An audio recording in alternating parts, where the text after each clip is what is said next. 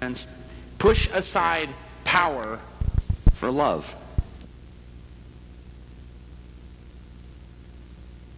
No makeup to resemble Minerva Doubleday. You left the envelope at the Wilshire Palace as uh, your contribution to the hijacking scheme.